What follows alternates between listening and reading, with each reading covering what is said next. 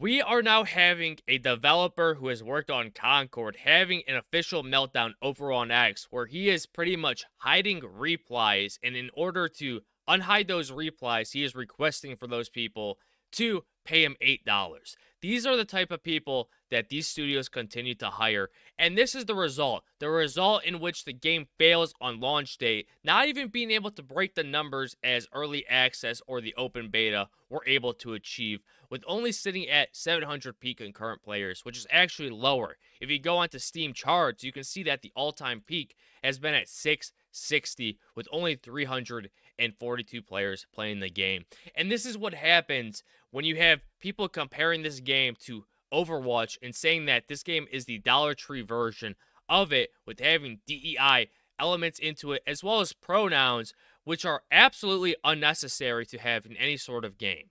And before we get into the article, please don't forget to subscribe, like, or dislike. It doesn't matter. It helps the channel, and I much appreciate it. Former Concord developer maligns critics as talentless freaks as game fails to hit 700 peak concurrent players. A former Concord developer who now claims to work for PUBG Studios maligned gamers who are now opposed to Concord and its woke DEI agenda.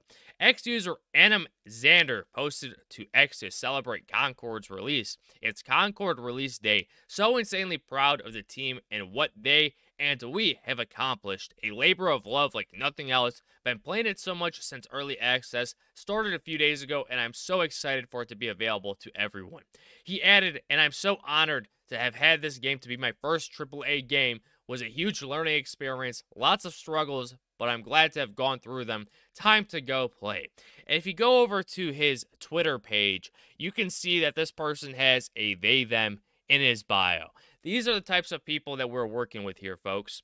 As we continue on, X user Preston responded to this post, writing, I'm so sorry. This has to be your first. I do not believe it is you or any of the other devs' fault that this game has performed so poorly. I can tell that a lot of effort was put into completing this game. It just came at the wrong time and genre. So here we're having a person who is showing empathy, compassion, and essentially the game not performing how it should be. And this is where it gets crazy, where Anim Xander responded, Hey, I don't really care. It was a huge labor from a lot of insanely talented people making an awesome game. Why would I care about a bunch of talentless freaks hating on it? I'm sure having fun playing it and I wouldn't trade it for anything. And so this is absolutely funny to me that we're having two sides of the spectrum. We're having a person that's shown empathy and another person that is attacking people that are criticizing the game for what it is and not being able to bring anything new to the table when it comes to this Overwatch space, not bringing fun gameplay, let alone any good characters. Because this is what they're focusing on. They're focusing on pronouns, they're focusing on these DEI elements instead of bringing something new to the table for the average gamer to enjoy and to bring something new to this gaming space. But that is not what they want. And he continues on, despite claiming that he does not care Anim Xander hit a handful of responses and demanded users to pay him $8 if they want the post unhidden. You can see the hidden replies below. And you know what? This is funny that we were having the same group of people that constantly talk about censorship and always shut other people down because they don't agree to their narratives or their ideas or their political viewpoints. And this is how it is taken when it comes to the online space and pretty much hiding them and requesting to pay them. This is censorship to the definition of it. And as you can see right here, you can see people replying to his tweet on X. Thank you for this crappy booty game. I'm so sorry, but I'm not playing a game without disabled representation.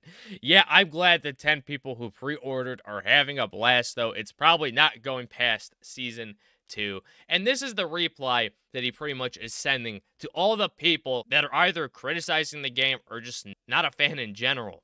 He says, Pay me $8 to unhide your reply. And it's not surprising that we were seeing this type of censorship and these types of people being hired over at these developing firms when you have people such as the lead character designer John Wisniewski saying this over on Twitter about four years ago. The entire thread addresses white supremacy. Proud Boys are white supremacy. Police brutality is white supremacy. The entire penal slash judicial system is white supremacy. The whole thread is white supremacy.